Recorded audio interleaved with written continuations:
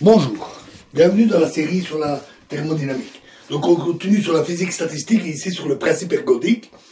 Et une autre manière plus physique de décrire le principe ergodique est la suivante. Supposons que l'on considère une grandeur A qui est associée à une particule, par exemple sa vitesse. Et que l'on désire calculer la moyenne de cette grandeur, que l'on note typiquement A, comme ça, avec deux crochets, moyenne de A. Et il y a deux manières de faire. La première, soit on suit la particule pendant un long intervalle de temps, et on calcule la valeur moyenne, ici, prise par A au cours du temps. C'est ce que ferait par exemple un, euh, un automobiliste qui désirerait calculer sa vitesse moyenne. Il mesure son trajet sur une certaine, pendant un certain temps, regarde la distance parcourue et en déduit sa vitesse moyenne. La deuxième méthode, on prend à un instant donné, là, donc un instant bien précis, euh, un grand nombre de particules et on calcule la moyenne A de toutes les valeurs de la grandeur A prises par les particules. Donc on fait la somme, on divise par le nombre de particules. Et on calcule les moyennes, et, alors euh, on calcule ainsi une moyenne d'une manière différente. Avec les automobilistes, c'est ce que ferait par exemple un institut de la sécurité routière, qui serait équipé de radars et qui voudrait connaître la moyenne des vitesses des véhicules sur la route à un moment donné de la journée. Alors en pratique, ils le font sur un certain temps, mais on peut imaginer qu'ils aient mis des tas de radars et à un moment donné, ils mesurent, les vitesses de tas de voitures et font la moyenne. C'est aussi dans ce sens-là que nous avons parlé de moyenne lorsqu'on a parlé de, par exemple, l'énergie moyenne des particules qui vaut NKT. On parle donc de deux méthodes, une moyenne temporelle et une moyenne dite spatiale. Le principe ergodique affirme que si les particules sont identiques, alors les deux valeurs calculées de ces deux manières sont identiques. Pour des automobilistes, c'est clairement faux. Parce que certains conducteurs roulent en moyenne plus vite que d'autres. Soit parce que c'est leur habitude, soit parce que les trajets qu'ils pratiquent sont différents des autres. Hein, euh, celui qui fait un trajet essentiellement en ville va rouler moins vite qu'un autre automobiliste qui pratique beaucoup l'autoroute pour ses trajets. Mais pour des particules identiques, c'est tout à fait possible. Et même des automobilistes, s'ils font des, trajets semblables, euh, de même nature, et ont un comportement au volant semblable, ils vont avoir des moyennes de vitesse sensiblement identiques. Et dans ce cas-là, les deux méthodes marchent. On montre, sous quelques conditions très générales, que les trois principes sont équivalents. Donc, premièrement, la probabilité identique de tous les états microscopiques, qui est ce qu'on recherche, l'égalité des moyennes temporelles et spatiales, et le caractère dense des trajectoires dans l'espace des phases. Les trois sont identiques à quelques conditions très générales. On ne démontrera pas ça ici, parce que c'est assez complexe, ce sont des mathématiques plutôt pointues. Encore faut-il savoir si le principe ergodique s'applique. Donc imaginons une boule de billard qui rebondit sur une bande. Donc on a la bande du billard et on a une boule qui rebondit sur la bande.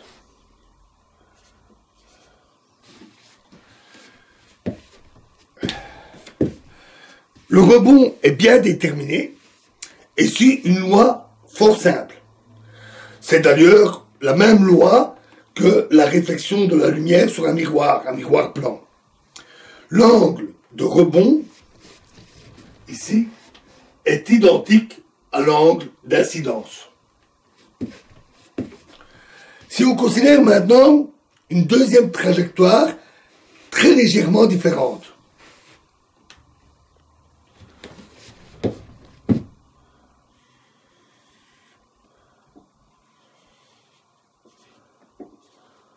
elles sont par exemple, euh, elles diffèrent par exemple très légèrement en direction d'un petit angle alpha entre les deux directions. Alors, au cours du temps, l'écart des boules augmente, puisqu'elles ont des directions légèrement différentes, mais l'écart reste raisonnable si l'angle est tout petit. Et en fait, cet angle différentes des trajectoires, restent le même tout au cours du temps de leur propagation. L'espace des boules s'écarte, mais l'angle reste le même. Et même après la collision, l'angle est toujours le même, c'est toujours alpha. Ça se vérifie très facilement, ça se démontre très simplement. Donc, la collision n'a rien changé. L'angle qui sépare les deux trajectoires est toujours alpha et les boules s'écartent toujours tout doucement. Euh, donc, comme s'il n'y avait même pas eu de collision sur la bande. Le rebond n'amplifie donc pas l'écart entre les deux boules, entre les deux trajectoires. Si les mesures des vitesses des boules sont suffisamment précises, donc la direction mesurée est suffisamment précise, on pourra prédire avec une assez bonne précision où les boules vont aboutir. On peut prédire leur trajectoire avec pas mal de précision. On dit dans ce cas que les trajectoires s'écartent de manière linéaire. Ajoutons maintenant des bouchons ou d'autres boules. Une boule est un obstacle qui peut faire rendre le même office qu'un bouchon.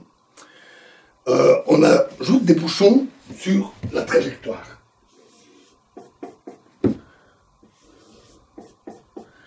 Donc on a maintenant la boule qui arrive ici, elle rebondit, puis rebondit comme ça. Et maintenant,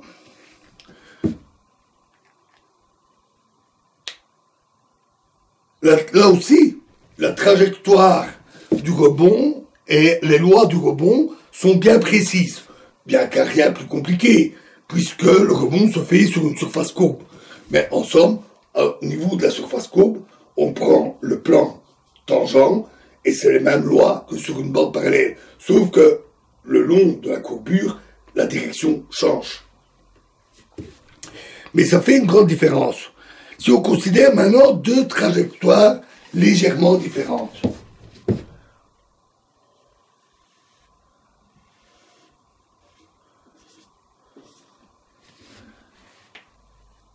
Tout de suite, on voit que ça fait des écarts considérables.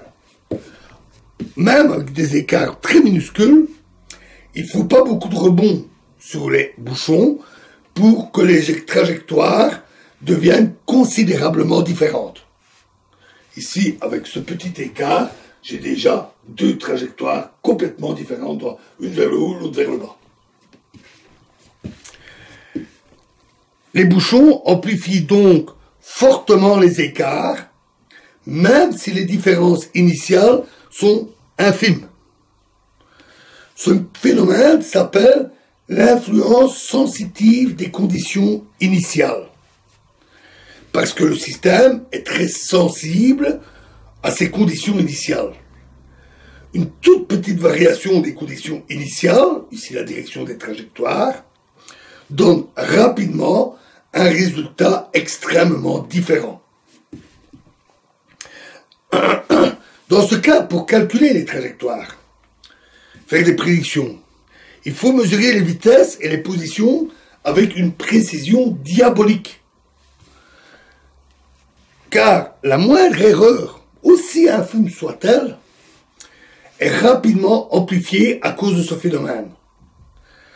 Dans ce cas, les trajectoires divergent de manière exponentielle. Les trajectoires deviennent alors totalement imprévisibles. Imprévisibles. Bien que les lois du rebond soient bien précises, parfaitement déterministes. À une trajectoire précise correspond un rebond précis. C'est la base de la théorie des systèmes dynamiques, aussi appelée et mieux connue sous le nom de théorie du chaos déterministe ou simplement théorie du chaos. Ce n'est rien d'autre que ça. Euh, on en entend souvent parler en vulgarisation ou dans des magazines, parfois de manière un peu galvaudée, euh, le mot chaos ayant une certaine connotation. Ici, c'est simplement pour signifier que euh, les trajectoires sont complètement imprévisibles, même avec des mesures très précises. Euh, et c'est dû au fait que le comportement des boules, avec des bouchons ou des boules qui se cognent, euh, semble tout à fait chaotique. Parce qu'en fait, on n'arrive pas à prédire, au bout de plusieurs rebonds, comment ça va se comporter.